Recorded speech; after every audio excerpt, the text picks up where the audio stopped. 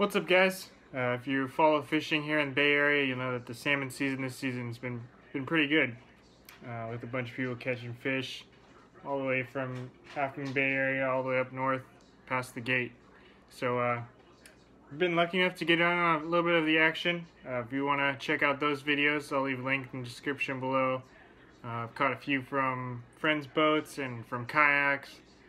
And uh, yeah, it's been pretty fun. So in, in one of my previous videos, I uh, asked you guys if you wanted to see what I use when I'm trolling for salmon.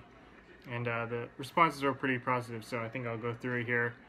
And uh, if you have any questions, leave them in the comments below. I'll uh, do my best to answer them. So first things first, I'll go over the uh, setup that I use for fishing for salmon. Um, so this is a G Loomis 9 foot medium action. Um, it's got a real soft tip and it's got a good backbone too, so you can definitely uh, carry a good amount of weight on this one. Uh, one thing I like to do, or I, like to have in my rod when I'm fishing for salmon, is a nice flexible tip because you are using barbless hooks, um, and you want to have some give in the pull, so there's always at least a little bit of pressure on the fish when you're bringing it in. Um, just gives the fish less chance for them to shake that hook. And paired with that rod, I have a Abu Garcia 6500 C3 with 20 pound mono. Um, and I like to use mono when fishing for salmon, again, so you have a little bit of stretch, and it'll make it easier to keep a little bit of pressure on the fish when you're bringing them in. As far as rod and reel goes, this is a little bit on the on the pricey side, so I wouldn't, you, you definitely don't have to spend this much. This is probably $200, $300 uh, rod and reel combo. Um, you definitely don't have to spend this much. Anything I'd say in the nine foot range when it's got a soft tip, um, will, will work well for salmon. So I'll leave a link in the description below on for this one, and then also maybe a, a less, more or less expensive, more um, affordable rod that, that would definitely compare to this one. And then as far as the size of the line, I got 20 pound mono on this main line. Um, this is definitely a little bit on the light side, so I would say anywhere from 20 to 30 pound is good, good range for fishing for salmon that's about it for the rod and reel setup, so let's get into the baits. Okay, so all the salmon that I've caught this year have been on two two rigs. One of them was a watermelon apex, and uh, the other rig that I've been using is a Krippled anchovy, which is just this little thing here. I'll go over it in a little bit. Okay, so first one is the apex. So uh, it comes in a box like this. I'll leave, oops, leave a link in the description below for all of these uh, products. But basically, it's just a little lure, and you're. Uh, I'll, I'll show you this one. So as you can see, this one's got some use here. Caught some fish on this one. So basically, the line goes through here, through these little holes here, and then you got your hook on the bottom. So it come when you're trolling, it's just shimmer, shimmering through the water like so. You know, going through the water. Uh, and all it is, you got your leader, you just attach that goes all the way to your pole. Now, uh, that's the first one, that's the Krippled anchovy. Um, when it comes in the box, I'm actually not sure how heavy the line is on here, but I do like to retie it just so I know that all the knots are good, um, and I got good line on there. So, for all these rigs, anywhere from I would say 20 on the lightest end to 40 pound test to use for trolling.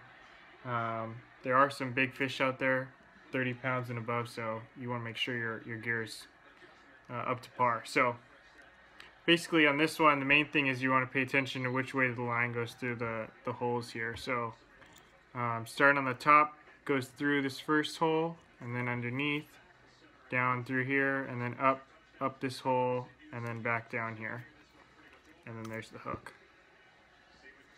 So this line actually slides through so when you you get a fish it'll this line will the lure will come up the line a little bit and then your fish will have room to play. So that's the first one. Um, second rig that we that I've been using um, is this Krippled anchovy rig. So it's kind of a unique little thing there, but basically it's just a little thing for your, you put the, oops, put a frozen anchovy inside this little casing, goes in like, like so. And then um, there's a pin here that holds it in place. So once you got the anchovy in there, you put that pin through, and then that holds that anchovy in inside there.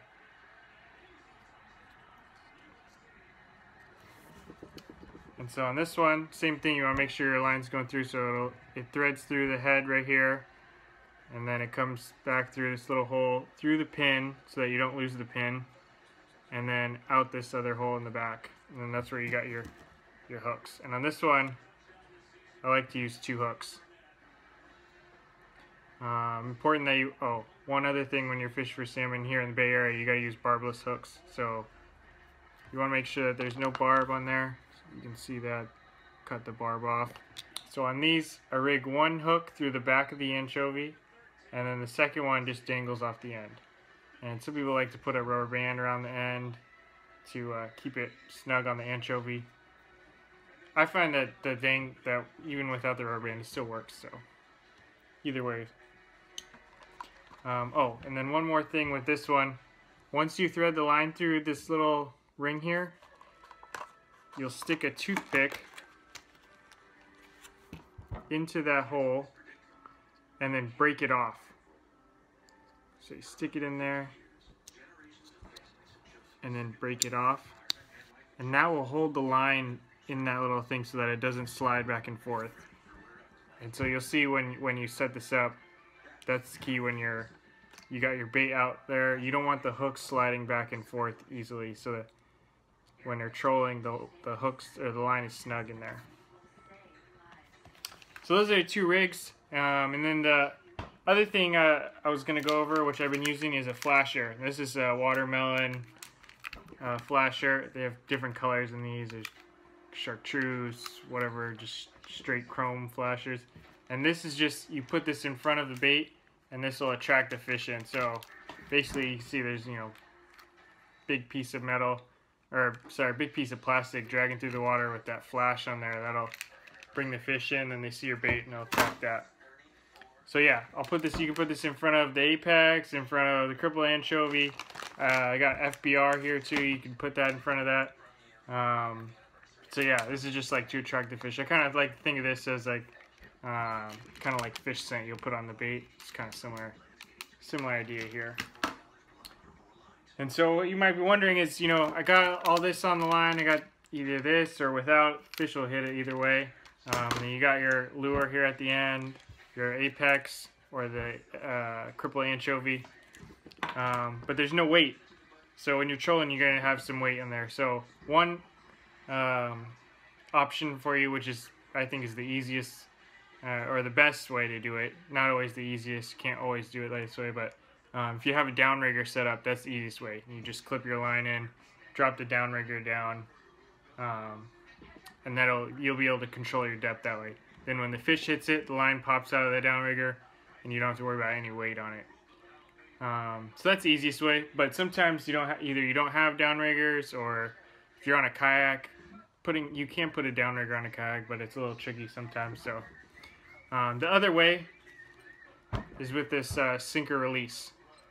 So basically what this is, it's got a little hole in there and then you slide your weight, you pull this, slide your weight in there Alright, so you got your weight in there. And then this, you can put this on your line ahead of your flasher or ahead of your bait, your cripple anchovy.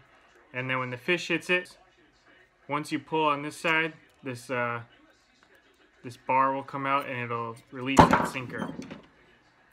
And one, one of the drawbacks in this one is anytime you get a fish, you'll lose that sinker, which can get pricey, and, and it's not a, not a big fan of dropping all this lead into the bottom of the ocean. But it is effective, and once you lose that sinker, you're just fighting the fish straight up, no no weight. So that's always a good thing. So yeah, that's about it for uh, my setup as far as salmon goes. Um, if you have any questions, leave a comment below, or if you see anything that I've missed, um, go ahead and leave that as well. Uh, I'm always looking to improve my my tactics here as well. So yeah, if you haven't subscribed, make sure you do so already. I do expect, or I do plan to get out, back out for some more salmon before the season ends. So, uh, yeah, that's it for now. Thanks for watching, and uh, we'll see you next time.